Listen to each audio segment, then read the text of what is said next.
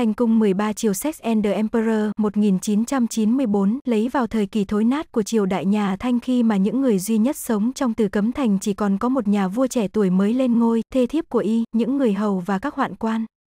Hoàng đế đa dâm vô độ tới mức thấy bất kỳ người con gái đẹp nào cũng mang về làm vợ, say đắm trong nhục dục từ ngày này qua ngày khác mà không có điểm dừng mặc cho việc đang bỏ bê việc triều chính.